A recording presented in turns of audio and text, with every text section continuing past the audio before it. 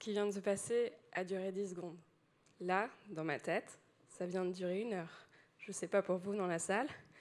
Je pense que les gens qui ont un Mac et qui ont déjà vu ce truc-là se sont dit Oh mon Dieu Merci pour votre sympathie. Euh, tout ça pour vous expliquer que, en fait, le temps, on peut le mesurer de deux manières. On a le temps objectif, un peu ce dont JP vous parlait avant. C'est euh, ce que vous allez mesurer avec vos outils de métriques. Combien de temps mon euh, site met à charger? On peut optimiser ça avec des lignes de code, avec du serveur, avec tout ce que les développeurs vont vous expliquer aujourd'hui. Moi, ce qui m'intéresse aujourd'hui, c'est le temps psychologique. C'est ce qui vient de se passer là. C'est le temps en fait perçu par mon cerveau. Donc pour commencer, l'idée c'est bah, de comprendre un petit peu comment fonctionne la perception des humains. Tout d'abord, certains facteurs extérieurs affectent ma perception du temps qui passe. Exemple, oula, non c'est bon, ok. Donc certaines études ont montré que plus rapidement l'utilisateur sera capable d'interagir avec la page, euh, plus l'utilisateur va considérer le site comme rapide. C'est pour ça que des techniques comme du lazy loading, du chargement infini, donc charger tout ce qui est en haut du site, alors le vieux mythe en tant que UX de ligne de flottaison, on n'aime pas trop parce que bah, concrètement avec tous les tailles de médias qu'on a aujourd'hui d'écran, on ne peut plus vraiment la définir. Mais se dire si on a quelque chose qui charge rapidement en haut, que l'utilisateur, l'utilisatrice puisse interagir très très rapidement avec, en fait le site sera perçu comme beaucoup plus rapide. Ensuite, ça va être le profil de la personne. Je suis désolée de vous annoncer que les jeunes sont absolument pas patients, ils le sont de moins en moins. Donc on va avoir des utilisateurs aujourd'hui de moins en moins patients, ce qui veut dire qu'il va falloir faire encore plus d'efforts euh, sur euh, la performance. L'état psychologique, quand on stresse, le temps passe très très très lentement. Quand on s'amuse, bah forcément, vous avez passé un bon moment et vous voyez, ah bah c'est déjà l'heure de rentrer. Donc l'état psychologique de la personne va forcément influencer.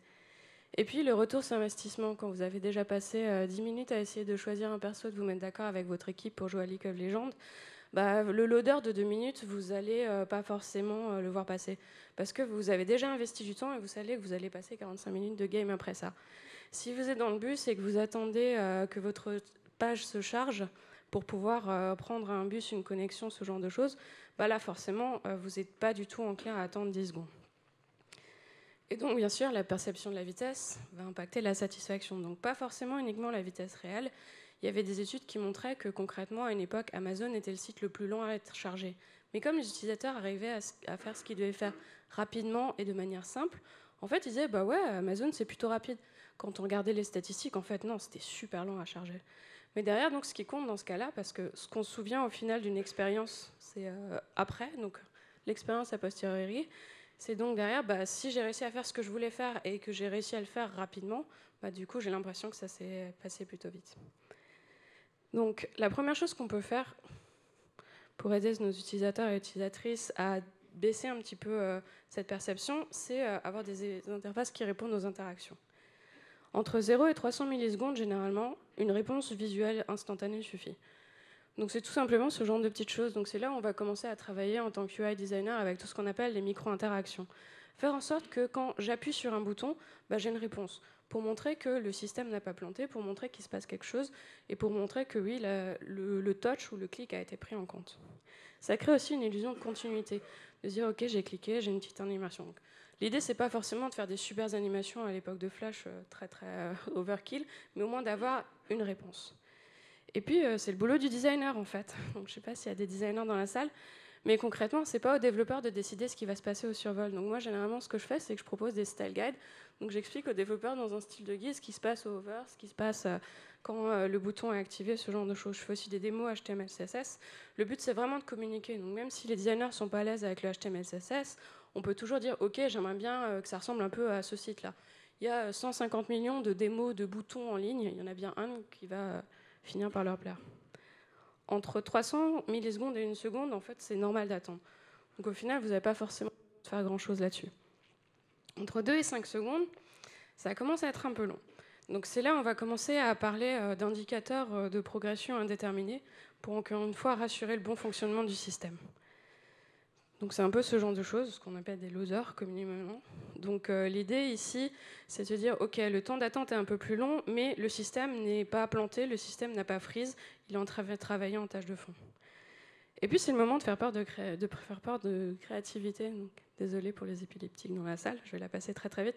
Donc c'est l'idée de se dire, le loader peut être un peu un truc un peu sympa en fonction de votre marque. Par exemple, Trainline, à un moment donné, il faisait ça.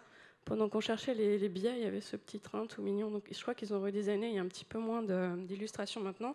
Mais c'est le moment de se dire, OK, pourquoi pas montrer un peu la personnalité de mon produit. Au-delà de 5 secondes, c'est là où ça commence à devenir un peu compliqué. On ne peut plus laisser les gens attendre sans leur donner des informations supplémentaires. Donc c'est là où il faut vraiment indiquer précisément la progression. La première étape, c'est bah, effectivement euh, indiquer la progression. Donc ici, ils le font avec des pourcentages. Et aussi expliquer ce qui va prendre du temps. Donc File Transfer le fait plutôt bien. Il vous explique que concrètement, il envoie un fichier à une personne et on voit au fur et à mesure les, les, gigabytes qui vont euh, transférer. Donc, quand on a une attente longue, si vous voulez que vos utilisateurs attendent, bah, dites-leur pourquoi ils vont attendre. C'est normal d'attendre si je transfère un truc super élevé de 150 mégas, il n'y a pas de souci. Mais maintenant, je sais que bah, la raison pour laquelle j'attends, c'est parce que ça transfère. Montrer la progression effectuée. Donc là, ça dépend un peu. Eux, ils peuvent faire des pourcentages. Des fois, on ne peut pas faire des pourcentages. Donc c'est une unité de mesure qui euh, dépend vraiment de votre produit. Ça peut être des pourcentages, ça peut être en nombre de fichiers, ça peut être beaucoup de choses. Il faut juste une unité qui corresponde à quelque chose qui a du sens pour vos utilisatrices. Et ensuite, bah, bien sûr, euh, si c'est possible, éviter de les bloquer. Donc là, si je me rends compte que bah, euh, c'est quand même vachement lent, je vois que ça transfère limite kilobyte, je me dis, ah, 45 minutes. Non, je, je, reviendrai plus tard sur une connexion un petit peu plus stable, et puis du coup, je vais annuler l'action. Donc si on peut prévoir combien de temps ça va mettre, même quelque chose d'approximatif, et que ça va prendre beaucoup de temps, il faut quand même laisser la possibilité d'annuler les actions. Donc ne pas bloquer les utilisatrices sur des choses très très longues. Au bout de 10 secondes, c'est à peu près euh, la limite d'attention euh, de, de, l'utilisateur, donc Nielsen, euh, très connu dans le monde de l'UX. Et c'est là où ça va commencer à devenir compliqué. Du coup, à propos de 10 secondes, comment est-ce que vous gardez l'attention d'utilisatrices qui viennent de lancer une requête? La requête peut prendre parfois 300 secondes pour voir les résultats de recherche. Donc c'est euh, ma petite histoire euh, de, la mouette en fait. Donc je faisais du consulting euh, pour un ami sur un gros groupe de transport de marchandises maritimes. Donc il m'envoie concrètement un message sur Hangout, genre Steph, on a un problème, ok? On a tout optimisé, la moindre ligne de code, on a optimisé les queries, on a optimisé le serveur. le problème c'est qu'à un moment donné, là, on peut plus rien optimiser au niveau du code. On a encore des queries très très lentes et certains utilisatrices, notamment sur des queries très longues, se plaignent que ça prend du temps. Donc je dis que bah ouais, forcément, si tu as 30 secondes, juste un loader, un spinner qui se balade comme ça, euh, ça leur suffira pas en fait. Donc je leur donne euh, quelques conseils, et donc voici ce que leur équipe de design a proposé.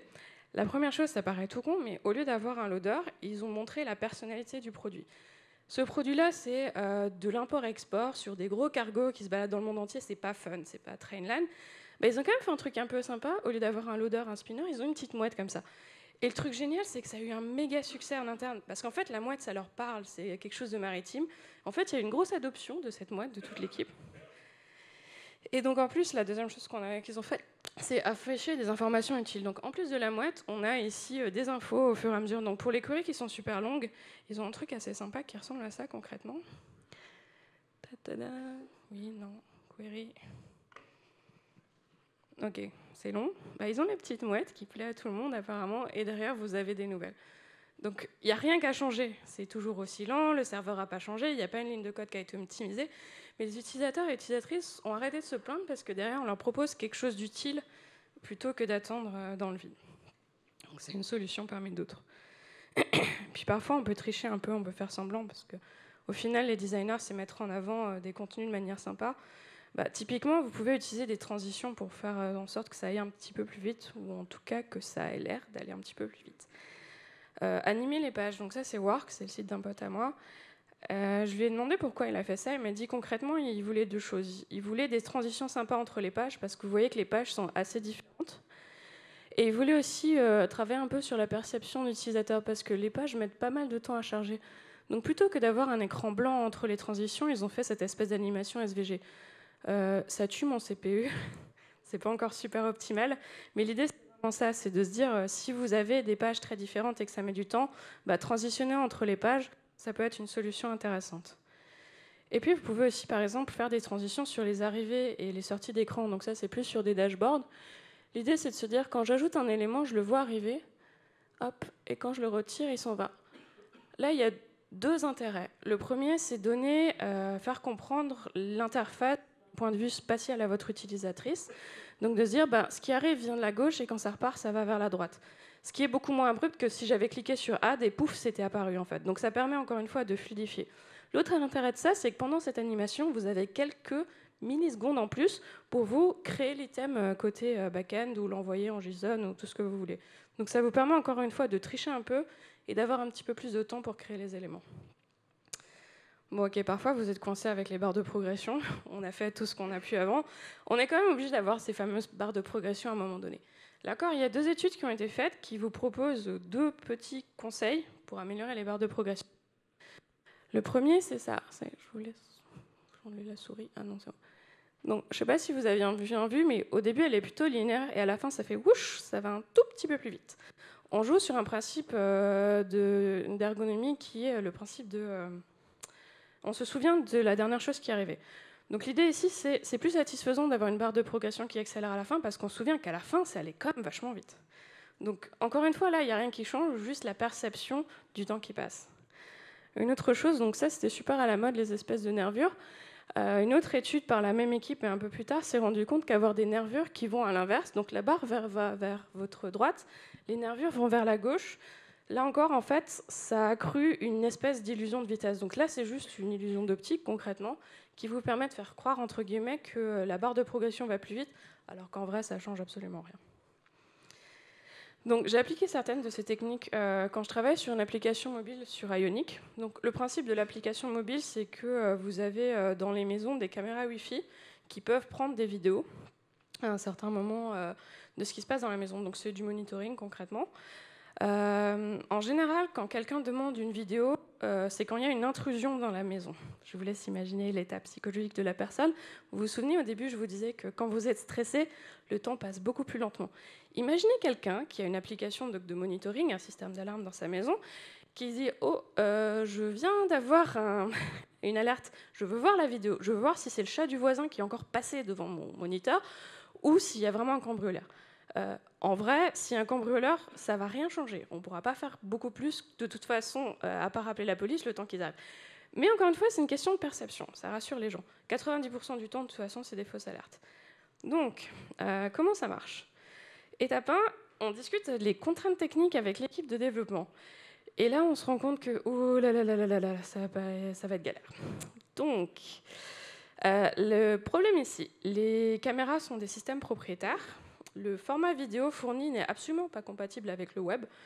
Donc concrètement, ça veut dire qu'en théorie, on prend la vidéo, on l'envoie au serveur, le serveur le réencode la vidéo dans un format euh, compatible web et le renvoie au téléphone. Donc c'est une application unique, c'est pour ça que je vous parle de format web.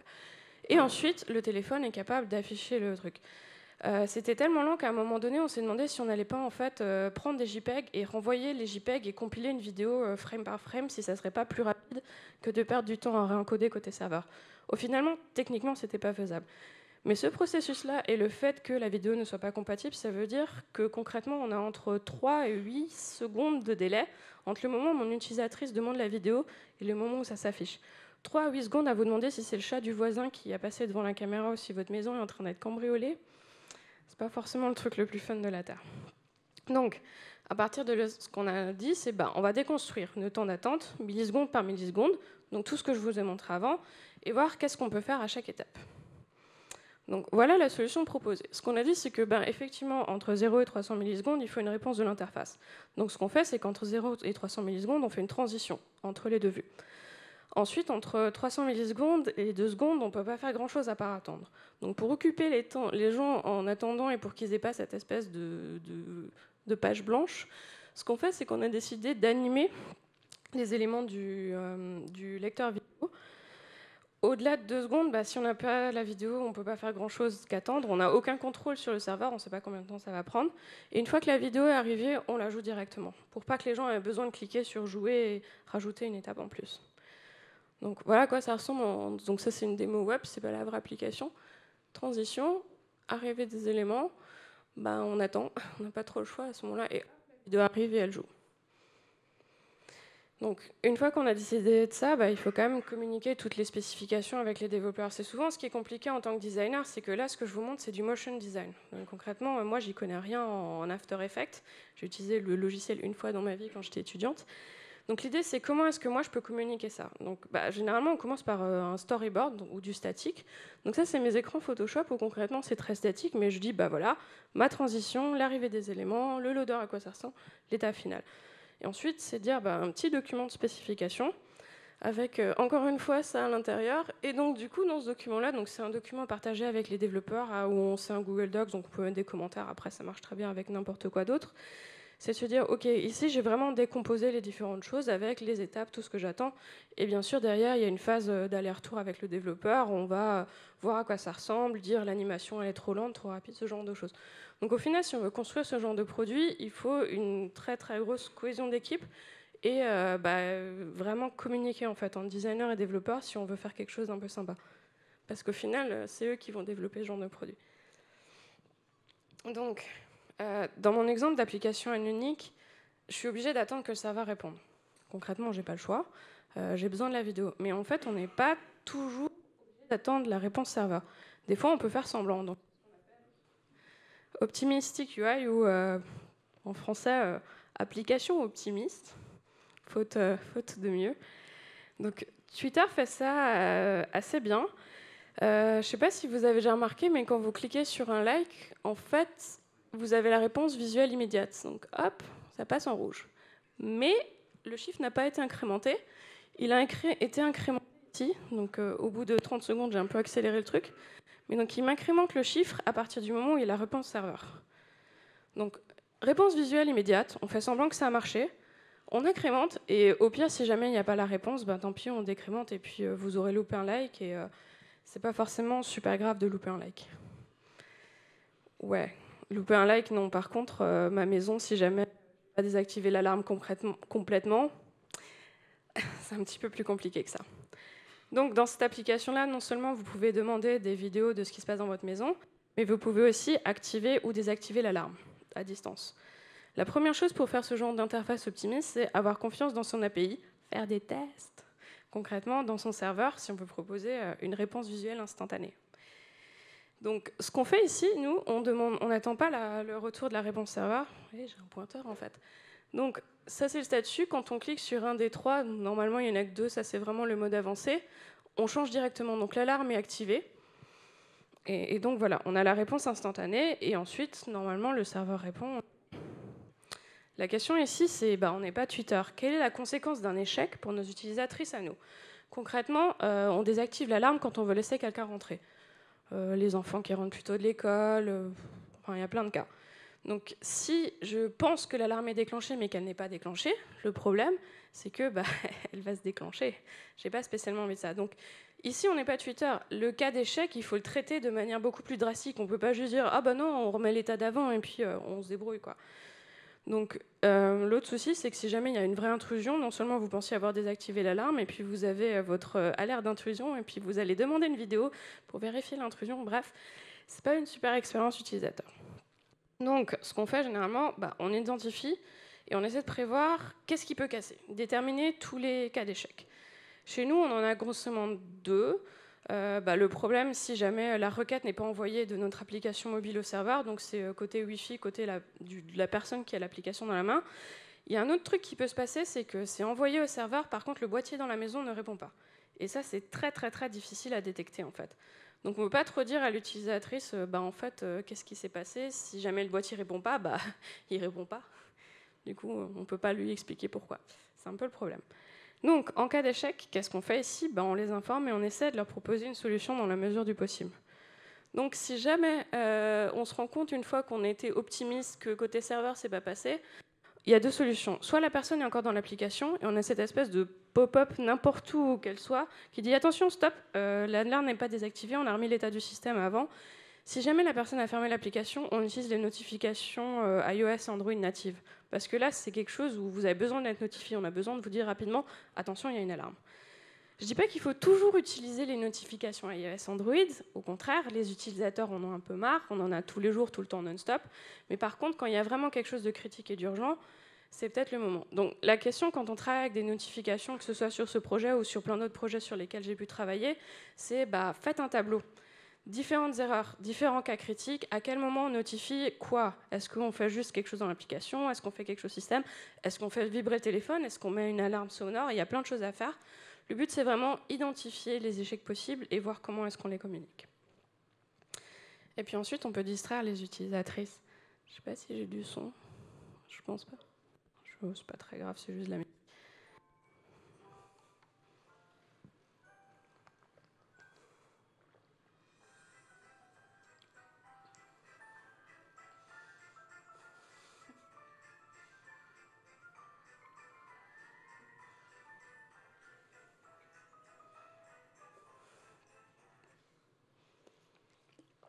Ok, donc c'est une petite expérimentation dans le métro d'Amsterdam. Le but c'est de distraire les gens, ça marche avec les enfants, avec les personnes âgées. Donc l'idée c'est qu'on ferme un œil et puis on essaie de manger les passants avec le petit crocodile. Donc c'est super mignon et c'est de se dire bah du coup euh, le métro c'est une expérience qui n'est pas forcément fun, ça prend du temps. Comment est-ce qu'on peut améliorer une expérience de métro? Bah, Ce genre de petites choses, en fait c'est pas la ville, c'est un artiste qui a collé ces petits stickers là. Donc bien sûr on peut pas tous proposer des stickers crocodiles. Hein. Mais on peut faire quelques trucs. Euh, la première chose qu'on peut faire quand on veut distraire les utilisateurs, c'est de les distraire de manière intelligente, c'est-à-dire leur proposer quelque chose à faire pendant qu'ils attendent. Typiquement, cet exemple est super connu, mais toujours utile de le rappeler, c'est Instagram. Ce qu'ils font, c'est que je prends ma photo, euh, et je suis occupée à remplir les tags, à changer des filtres, à rajouter des trucs, euh, à choisir le parfait hashtag. Et donc, le temps que j'écris ma description et tout ce que j'ai envie d'écrire, bah, en fait, l'image est chargée en fond. Et quand j'arrive sur ma page, ben, j'ai l'impression que c'est quasiment instantané. Parce que derrière, toute la partie euh, chargement s'est fait de manière invisible pour l'utilisatrice. Encore une fois, si jamais il y a un échec ici, Instagram, ce qu'ils font, c'est qu'ils vous disent attention, ça n'a pas été renvoyé, vous pouvez cliquer sur Recent. Donc toujours gérer les erreurs. Quand on fait des trucs en tâche de fond ou des choses optimistes, pensez qu'il peut y avoir des soucis et gérer les soucis. Ensuite, c'est tout ce qui s'appelle euh, skeleton screen, où est arrivé du contenu progressif. Donc ça, j'aime bien, c'est... Euh, oh, j'ai oublié le nom. Non-icon. Donc ce qui est sympa, c'est que vous n'avez pas une page blanche. Il charge toutes ces icônes-là en SVG, ça prend un peu de temps. Donc au fur et à mesure que ça charge, en fait, je vois euh, l'arrivée des, des icônes. Donc ça marche aussi avec du lazy loading sur des images. L'idée, c'est encore une fois la première interaction. Quand j'arrive à la page, je n'ai pas un truc vide, je peux déjà interagir avec les collections en haut, même si toutes les icônes en bas ne sont pas chargées.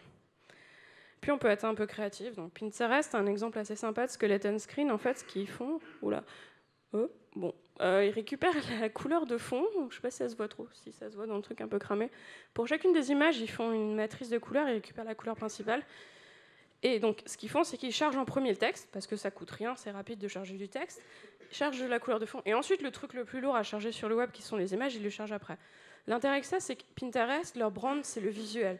Pinterest, concrètement, c'est des images. Donc, si vous imaginez un Pinterest avec des skeleton screens tout gris, bah non, ça va pas du tout avec leur brand. Donc l'intérêt d'avoir ça, d'avoir des jolis trucs colorés, c'est que derrière, ça fait clairement partie euh, du produit, ça fait partie de ce qu'ils vous vendent. Bon, faites quand même attention, hein, parce que des fois, on a ce genre de choses. Donc ça, c'est LinkedIn qui a fait une refonte. Skeleton screen, je sais pas si c'est... On va le refaire. vous voyez le... Ok, donc à, côté, à cause des contrastes, on va pas le Concrètement, ce qui se passe, c'est que le skeleton screen est sur l'ancienne version du design. Donc genre sur le skeleton screen, vous imaginez euh, que ce qui est à droite est là.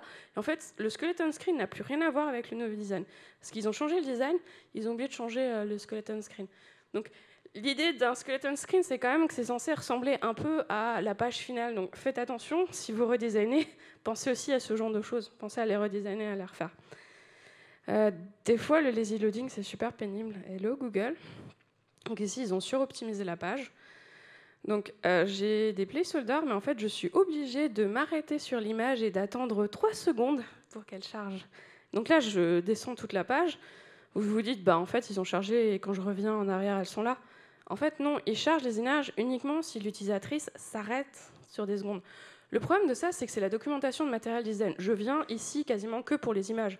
Concrètement, le texte, oui, c'est sympa, mais ce qui m'intéresse, c'est les images ici.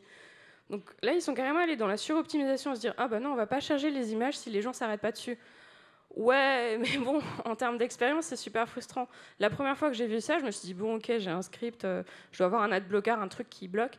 Non, non, en fait, même avec pas d'ad blocker, rien, c'est comme ça. Donc, optimiser, oui, sur fiez-vous. C'est moi ou c'est le micro? Hmm, Ok. Donc, à partir de là, je ne suis pas Pinterest, mais j'ai aussi des soucis de chargement de galeries d'images.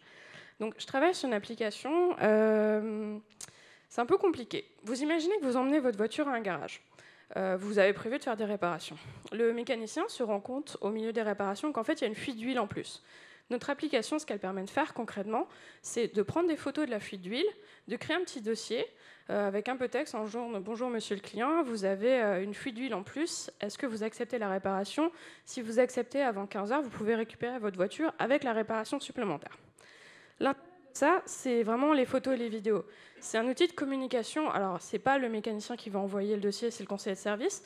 Mais donc, le client reçoit une petite euh, une page web optimisée mobile sur laquelle il voit euh, bah, les photos de la fuite et il peut dire OK, j'accepte ou non, je le ferai plus tard. Donc, comment ça se passe? Euh, Concrètement, mon mécanicien prend des photos dans l'atelier. Donc, j'ai une espèce de galerie comme ça. Et donc, ensuite, ça envoie un dossier qui est envoyé par le conseiller de service. Donc généralement, la première chose quand on veut faire euh, ça correctement, c'est essayer de comprendre le contexte et l'utilisateur pour les améliorer. Non, j'ai l'impression que ça coupe. Ok. Donc, on est allé en atelier, on est allé dans les carrosseries, on est allé avec nos concessions euh, type et nos concessions euh, avec celles avec lesquelles on travaille le plus. Ce qu'on a découvert en faisant des interviews utilisateurs est pas forcément super sympa pour la, pour la performance, donc la connexion dans un atelier, elle est lente. Le Wi-Fi est très mauvais. Il y a du métal partout.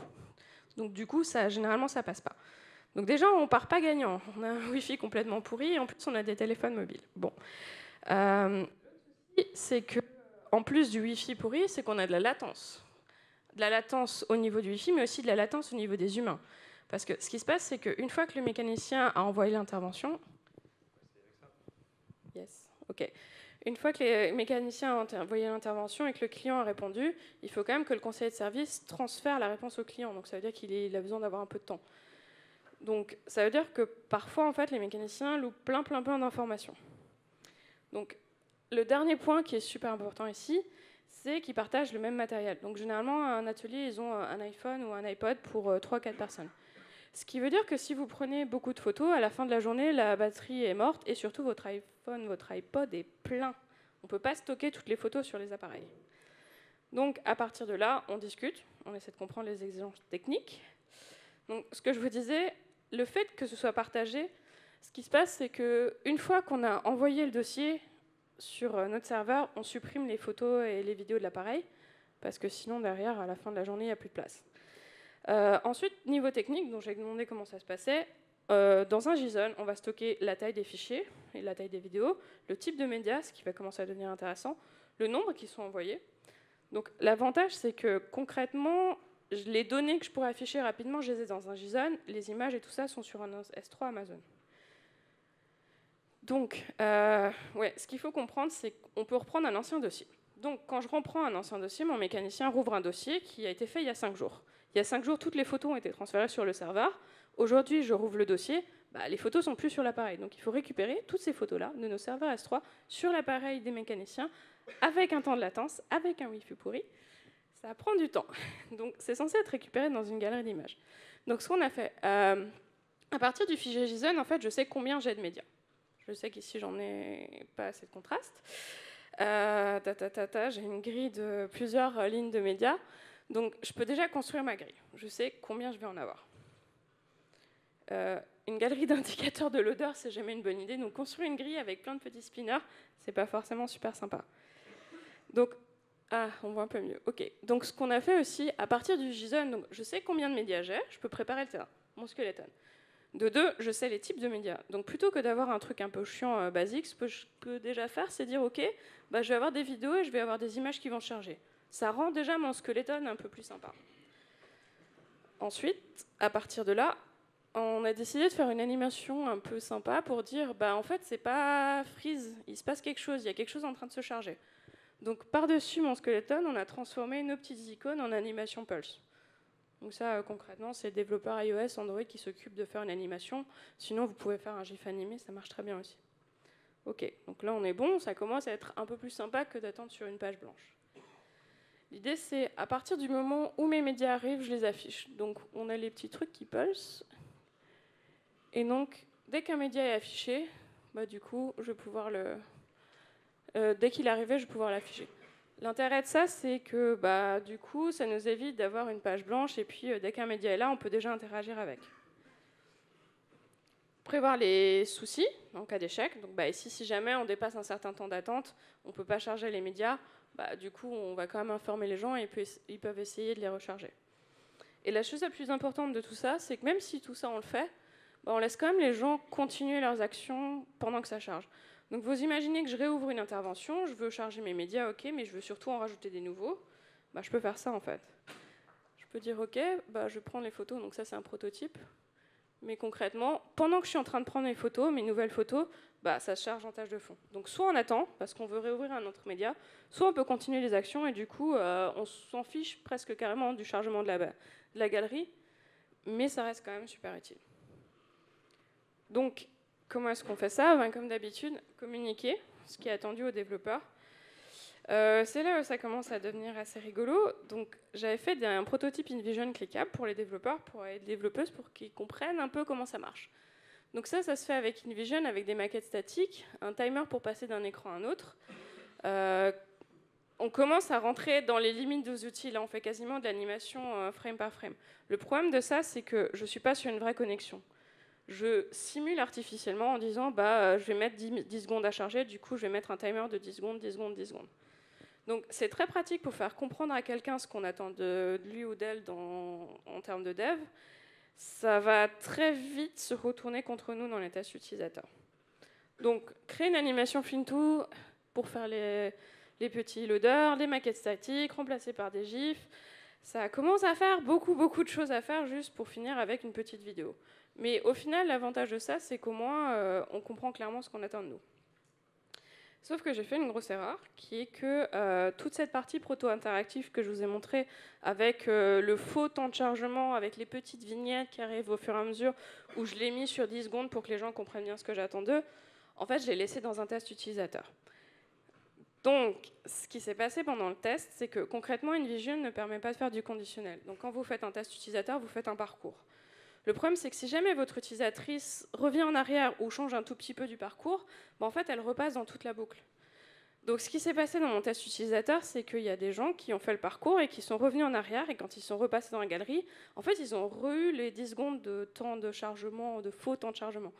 Donc, j'ai complètement biaisé mon test utilisateur, qui, de base, je ne voulais pas forcément tester cette partie-là, je voulais juste tester euh, tout le flux d'édition. Et donc, je me suis retrouvée avec des gens qui disaient Ouais, mais c'est vachement lent.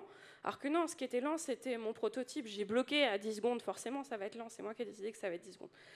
Du coup, ce que j'ai appris, c'est faites super attention si vous faites ce genre de choses, donc des faux prototypes avec des faux temps de chargement, juste pour montrer un petit peu comment ça se passe. Les gardez pas dans vos tests utilisateurs. Euh, l'idéal ici pour un test utilisateur, c'est pas tester le. Si on veut tester la performance, c'est pas tester un prototype InVision, c'est de construire la galerie et de voir ce qui se passe vraiment dans les ateliers avec des vrais utilisateurs. Après, le reste du test a fonctionné plutôt bien. C'est juste cette partie-là qui a complètement biaisé le reste du test. Et donc, si possible, effectivement, euh, mélangez pas euh, vos protos pour les développeuses et puis les protos pour les tests utilisateurs, sinon vous allez forcément vous retrouver avec des biais. Donc, encore une fois, la documentation, prototype cliquable, animation vidéo et euh, des spécifications écrites. Ok, je vous parle de vitesse, je vous parle de faire en sorte d'aller plus vite. Toute cette journée est consacrée au speed, à faire en sorte que nos interfaces aillent plus vite. Bah, la question est plus large que ça. Est-ce que la rapidité est toujours la, meilleure solution? Je vous ai dit au début que euh, les générations plus jeunes que nous sont devenues très très impatientes. Est-ce qu'on veut, euh, comment dire, d'un point de vue philosophique, est-ce qu'on veut vraiment construire ce genre de monde où tout va tout le temps plus vite, où on s'arrête jamais sur rien, où tout le monde est impatient, où tout le monde est du coup forcément super énervé quand on va lentement? Donc déjà d'un point de vue philosophique, la question est là. Est-ce qu'on a envie de rendre toutes nos interfaces toujours plus rapides? Quand j'achète, euh, je n'achèterai jamais, mais un iPhone à X, je ne sais même pas à combien il est aujourd'hui, est-ce que j'ai envie que ça aille vite? Pas forcément. C'est une expérience d'e-commerce. Quand j'achète un produit qui coûte cher, je suis pas sur Amazon en train d'acheter un petit truc. J'ai peut-être envie que mon utilisatrice prenne le temps de voir les specs, donc j'ai peut-être justement envie de ralentir. Donc parfois, la vitesse, n'est pas forcément toujours la même solution. Dans le luxe, vous, allez faire des grosses pages avec des jolies images. Vous voulez que les gens prennent le temps d'attendre, le temps de regarder, de voir ce qui se passe. Et puis parfois, c'est carrément contre-productif. Euh, donc, je viens de France, mais euh, j'habite au Luxembourg. Et au Luxembourg, le système bancaire est pas comme en France, on ne met pas 5 jours à faire un virement. Et donc, j'ai une application N26. Et ce qui se passe, c'est qu'à chaque fois que je paye avec mon application N26, j'ai une notification. Donc, vous imaginez moi en France, où pour faire un virement, il faut 3 jours, qui paye mon truc et qui a une application et une notification de ma banque. Quoi? Donc, en fait, je venais de payer. Et trois secondes plus tard, j'avais une notification comme quoi le paiement était passé. J'ai quelque chose qui s'appelle un modèle mental. J'ai une conception du monde. On a tous ça. Concrètement, on arrive dans un endroit, euh, on sait comment c'est censé se passer, on sait qu'une conférence, on va faire la queue devant pour euh, récupérer les badges. Mon modèle mental euh, du bancaire, c'est concrètement, ça prend du temps, c'est lent. Donc, comme mon application N-Mandis me dit Hey, tu as payé ça la première fois, je lui dis Non, mais c'est pas possible, il y a un truc, genre le, ça n'a pas vraiment été payé, c'est juste une notification. Enfin, mon modèle mental, moi, en tant que française, donc maintenant un peu moins, pour moi, le bancaire, ça prend du temps. Donc, si pour moi, mon modèle mental est que le bancaire prend du temps, bah derrière, si j'ai quelque chose d'un peu trop rapide, c'est un peu compliqué. Donc, c'est se dire si vous faites des choses où les utilisateurs et utilisatrices ont l'habitude que c'est censé prendre du temps et que vous les faites trop rapidement, bah, ça peut être contre-productif. Par exemple, euh, c'est Fargo Wells. Wells Fargo, c'est une banque. Ils ont fait un système qui permet de se loguer en faisant un scan rétinien. Alors, c'est pas vraiment rétinien, c'est les patterns des vaisseaux, bref. Euh, c'était super rapide. On met son iPhone devant sa tête, ça scanne, c'est bon, on est logué. C'est du bancaire, encore une fois. Le bancaire, c'est censé prendre du temps. Le bancaire, c'est censé être sécurisé. Ça prenait moins d'une seconde. Ce qui s'est passé dans les tests utilisateurs et le retour d'expérience, on leur a dit Ouais, mais non, c'est pas du tout sécurisé. Pourquoi? Merci les films, Minority Report, tous ces films-là, vous arrivez, vous avez le scanner. Ça prend du temps. Les films, la science-fiction ont créé un modèle mental dans la tête des utilisateurs qui disent la sécurité rétinienne prend du temps. Et eh bien là, nos utilisateurs, ce qui s'est passé, c'est que c'était sécure. Ils vérifiaient vraiment le scan rétinien, sauf que derrière, le problème, c'est que les gens s'attendent à ce que ce soit lent. Donc encore une fois, ils ont dit, bah non, c'est pas fiable, on n'utilisera pas. Donc ce qu'ils ont fait, ils ont juste rajouté une seconde de délai. Délai totalement artificiel.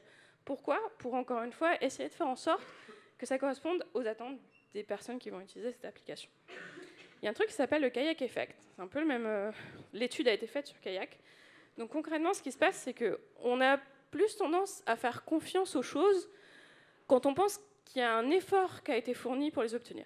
Typiquement, euh, tout ce qui est de la recherche, comparateur de vol, tout ça, on se dit il faut que Kayak il aille voir euh, tous les autres sites, ça va prendre du temps. Donc si j'affiche mes résultats immédiatement, encore une fois, je ne vais pas y croire. C'est toujours une question de perception en fait. Donc Kayak s'est retrouvé lui aussi à devoir euh, ralentir un petit peu les interfaces. Et puis vous avez les chatbots. Euh, un langage, une conversation avec un humain, ça prend du temps, les gens réfléchissent. Donc si vous, techniquement, on peut faire un chatbot où concrètement, euh, on rentre quelque chose, on a la réponse immédiatement. Mais ça n'a pas l'air très humain. Donc si vous voulez rendre un chatbot un peu plus humain, on va faire en sorte. J'ai pas une vidéo. Ok, j'ai plus la vidéo.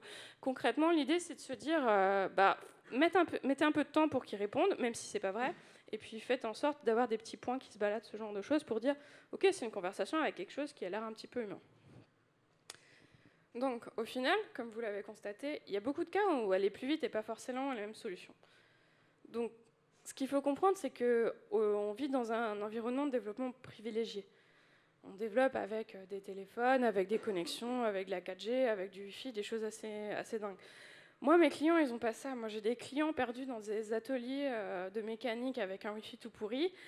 J'ai des infirmières dans des salles euh, de repos avec des vieux écrans qui vous feraient saigner la rétine.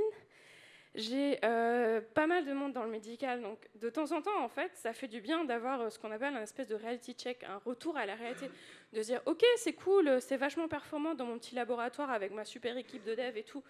Dans la vraie vie, comment ça se passe? Donc testez vos produits, mais testez-les pas juste avec le network conditioner, ce genre de choses, testez-les aussi derrière euh, sur des vrais utilisateurs pour voir dans des conditions réelles, avec une lumière pourrie, avec la moitié des slides que vous voyez pas parce qu'il y a des soucis de contraste, ce genre de choses. Donc la vraie vie réelle aussi, de temps en temps, parce que derrière, si vous testez chez vous, vous n'aurez pas forcément des résultats fiables.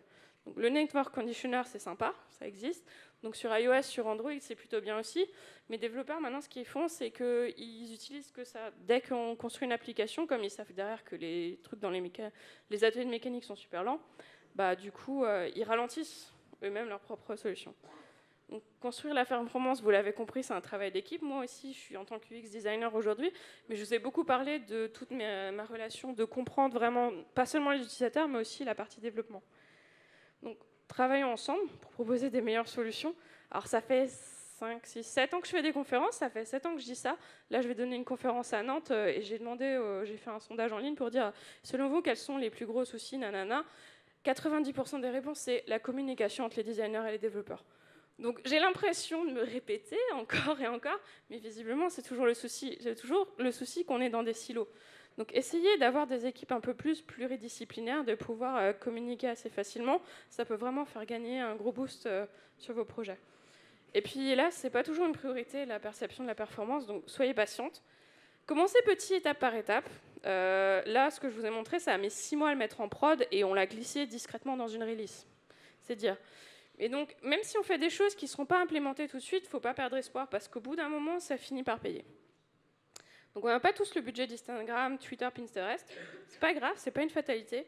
Il y a plein d'autres choses qu'on peut faire avec des petits budgets. Et euh, faire une interface qui fonctionne avec des utilisateurs heureux, c'est tout aussi gratifiant que faire un truc euh, waouh euh, dribble-like.